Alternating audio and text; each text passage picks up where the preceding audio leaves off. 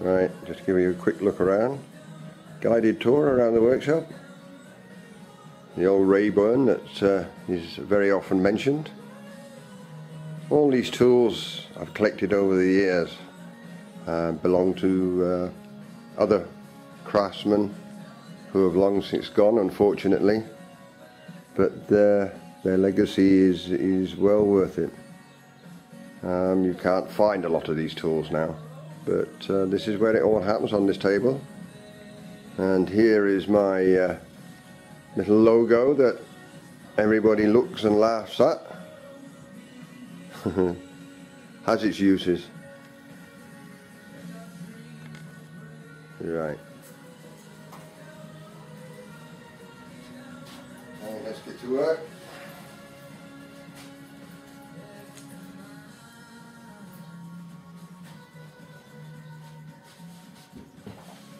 is the set altar front that we all talk about. And this is the one that's in for complete refurbishment. You can see its condition. Pretty horrendous really. This is what it's this is what it looks like. What we're going to have to do is remove the whole of these panels as carefully as possible from the frame. And then we're going to have to stabilise them.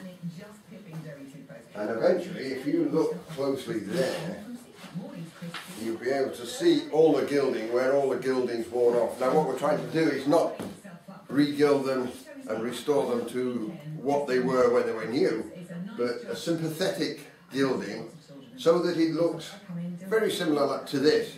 These panels will look like this, but with certain amount of area. Try and keep it in, in, in character as much as possible. I'll uh, just cut that and then start to take it out, otherwise it'll be so long-winded. Alright, we've got this so far now. Managed to get it out in one piece, so it's got to be lifted out taken up the back here and laid down flat. We'll do that on the floor.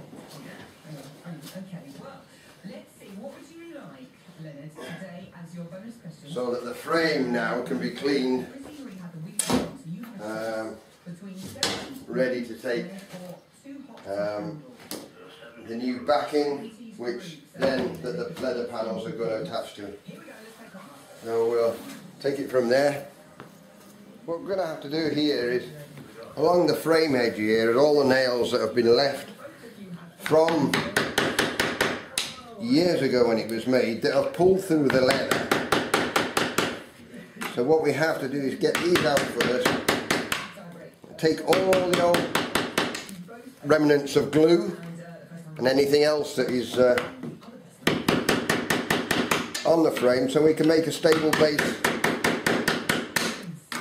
to get it back together again. What we've got to do now, all the nails have been removed.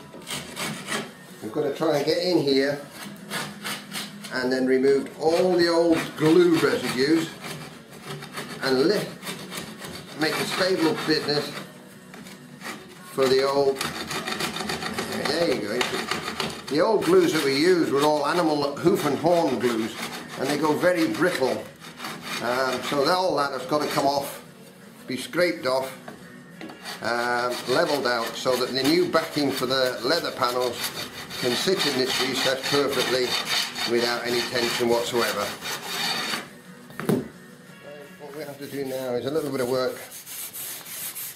And we on we just take the edges off on the frame here to do some sympathetic restoring. Get rid of all the edges with a bit of wire wool.